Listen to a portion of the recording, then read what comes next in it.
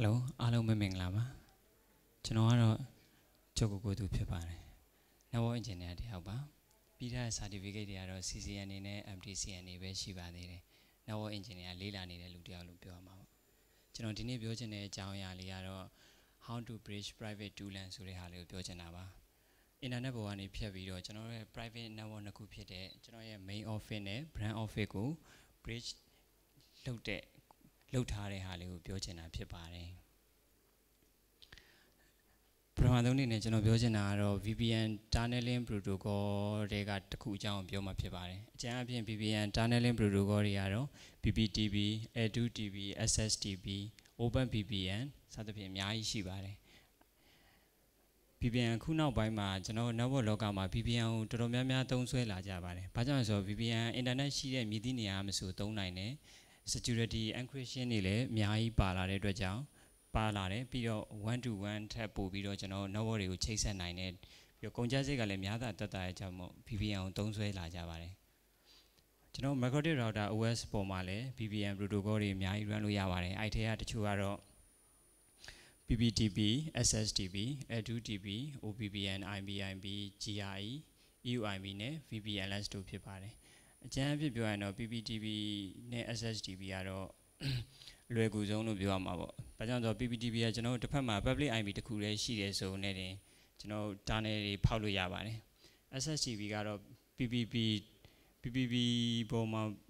TT TLS channel 1ကိုအသုံးပြုပြီးတော့ TCP 443ပေါ်ကိုအသုံးပြုသွားတယ် security ပုံမှန်ကောင်းမှုနဲ့ tunneling protocol တခုဖြစ်ပါတယ်အဲ IBIB နဲ့ GIE ကတော့ကျွန်တော်နှစ်ဖက်လုံး ကျွန်တော် tunnel ထိုးမဲ့ network နှစ်ဖက်လုံးမှာ public IP နှစ်ခုလုံးဖြစ်မှဒါအဆင်ပြေမှာပါကျွန်တော်နောက်ထပ် EUIB နဲ့ VN MV VPNLS ကတော့ layer 2 tunneling protocol တွေဖြစ်ပါတယ်ကျွန်တော်အခုပြောချင်တဲ့ protocol အကြောင်းကတော့ EUIB Macrotic Router OS ရဲ့ proper protocol ဖြစ်တဲ့ EUIB အကြောင်းပြောမှာဖြစ်ပါတယ် EUIB က Macrotic Router OS ရဲ့ proper protocol တစ်ခုဖြစ်တယ် ပြီးတော့သူ့ကို run မဲ့ဆိုရင်နှစ်ဖက် router ရဲ့ IP connection ပေါ်မှာ run ပေးရမှာဖြစ်ပါတယ်ပြောမယ်ဆိုတော့ EUIB run မဲ့ဆိုရင် underground tunnel protocol တစ်ခုကို run ပေးထားရမှာဖြစ်ပါတယ်များသောအားဖြင့်ပြောကြတာတော့ IPI meter နဲ့ PPTV တာနဲ့ဒါမှမဟုတ်ရင်တခြားတာနယ်တွေလည်း run လို့ရပါတယ်တခြားတာနယ်တွေရဲ့အပေါ်မှာ EUIB ကို create လုပ်ပြီးတော့ run လို့ရပါတယ်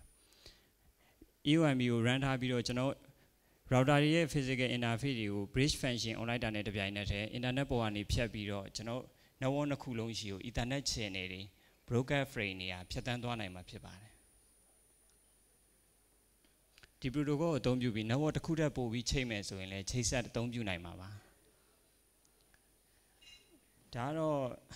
sorry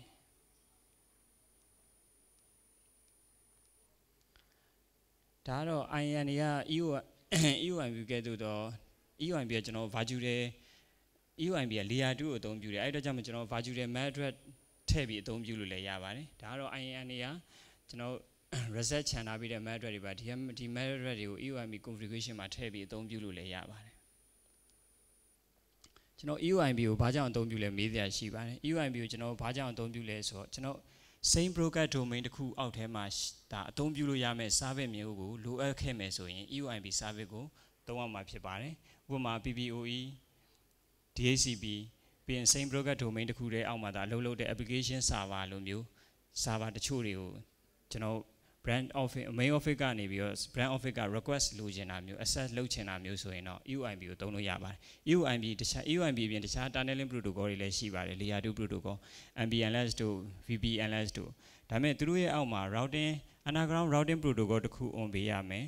ပြီးရင်တခြား configuration တွေနဲ့တအားကြီးရှုပ်ပါတယ် EUIB ကအဲ့လောက်ကြီးမရှုပ်ပါဘူးမရှုပ်ထွေးပါဘူးလွယ်ကူပါတယ်ဒါကတော့ကျွန်တော် ကျွန်တော်ရဲ့ main office နဲ့ brand office ကိုကျွန်တော် EUIB သုံးပြီးတော့ bridge လုပ်ထားတဲ့ configuration လေးကိုပြောပြချင်တာဖြစ်ပါတယ်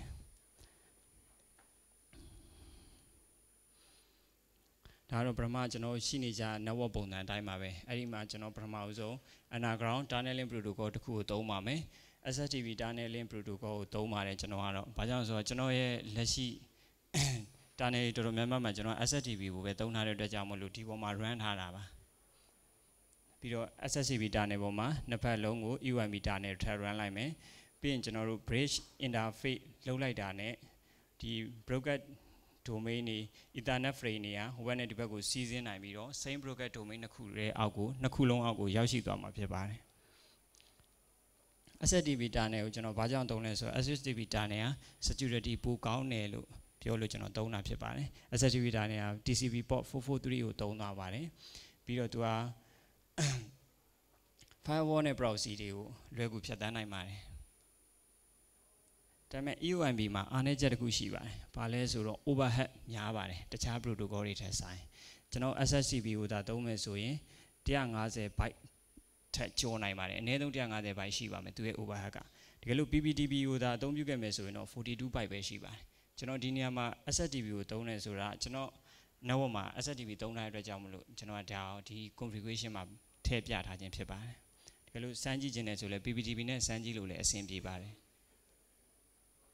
သူရဲ့အားသာချက်အားနည်းချက်တွေပါအားသာချက်တွေကတော့ style လောက်ရတာလွယ်ကူတယ် portable ဖြစ်တယ် security ကောင်းပါတယ်အားနည်းချက်ကတော့နှစ်ဖက်လုံးက macrotic router OS ဖြစ်ရပါမယ်ပြီးရင် overhead ကတိုးလာမှာဖြစ်ပါတယ် broker နော် broker frame တွေကအများနဲ့ဟိုဘက်ဒီဘက်သွားနေမှာဖြစ်တဲ့အတွက်ကြောင့်မလို့ overhead ကအများကြီးတက်နေမှာဖြစ်ပါတယ်အဲ့အတွက်ကြောင့်မလို့ကျွန်တော်တို့က bandwidth တစ်ခုတော့ requirement တော့လိုမှာဖြစ်ပါတယ် bandwidth ကောင်းကောင်းတော့လိုလိုက်ပါမယ်ကျွန်တော်ပထမဆုံး configuration လေးစပြီးတော့ကြည့်ကြည့်အောင်ကျွန်တော်လုပ်ထားတဲ့ configuration ကတော့ကျွန်တော်ရဲ့ main office က public IP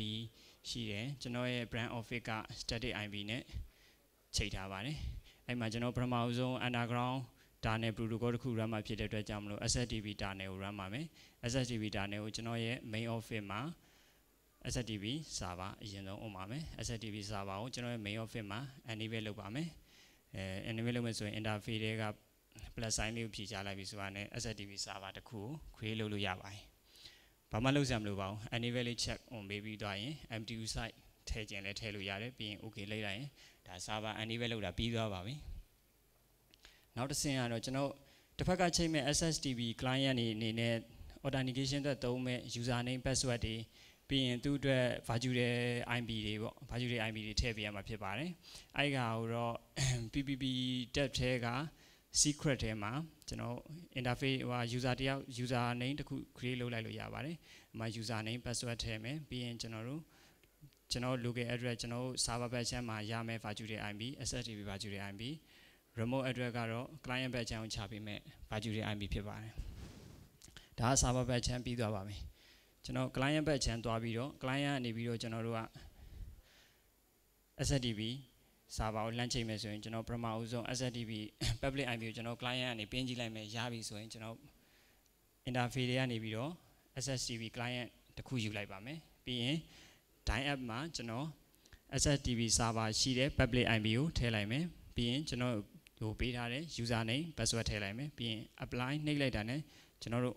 SSDB server ကို SSDB handshake တွေလုပ်ပြီးတော့ connected ဖြစ်သွားမှာဖြစ်ပါတယ်ဒါဆိုရင် SSCP tunneling ပြီးသွားပါပြီဒီချိန်မှာကျွန်တော် routing တွေရေးပြီးတော့တစ်ဖက်နဲ့တစ်ဖက်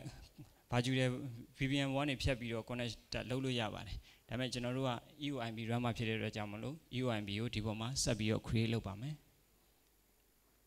EOIB create လုပ်တာလည်းလွယ်ပါတယ်ကျွန်တော် interface ထဲမှာ EOIB ကို EOIB တက်တစ်ခုယူလိုက်တာ ਨੇ ကျွန်တော်ဒီမှာ EOIB နေ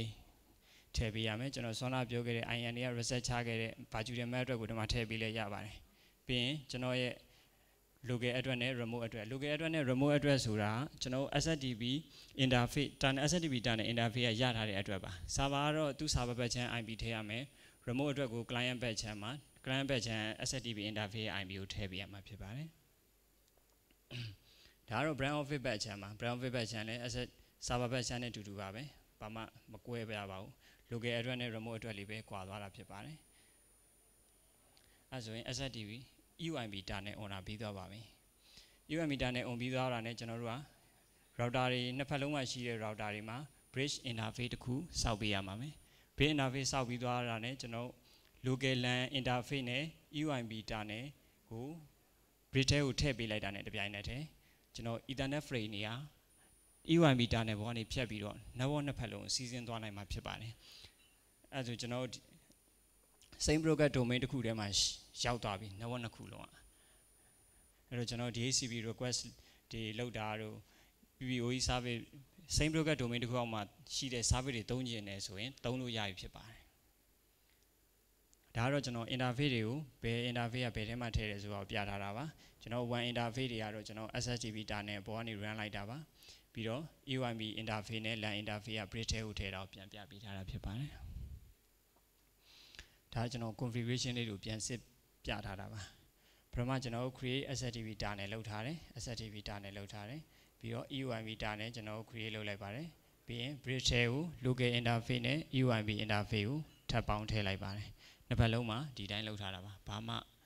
အများကြီးလုပ်ဆရာမလိုပါဘူးဒါဆိုရင်ကျွန်တော်ကျွန်တော် brand office ကနေပြီးတော့ main office ကရှိတဲ့ DHCP server ကို request လုပ်လိုက်တာပါ DHCP request လည်းကြာလာပါ DHCP relay တွေ DHCP helper တွေမလိုအပ်တော့ပါဘူးဒါဆိုရင်အားလုံးသိတဲ့အတိုင်းပဲ Winbox software Winbox software ကျွန်တော် layer 2ပေါ်မှာအလုပ်လုပ်တာလေ layer 2ပေါ်မှာလုပ်လို့လဲဆိုတော့သူနဲ့ LAN နဲ့လုပ်လိုက်ရင်လည်းကျွန်တော် network နှစ်ဖက်လုံးမှာရှိတဲ့ macrotic router တွေကိုအ ကုန်လုံးမြင်နေရမှာဖြစ်ပါတယ်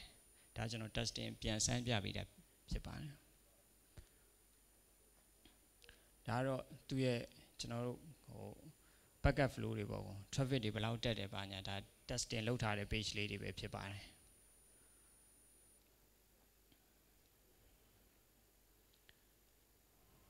ဒါကျွန်တော် server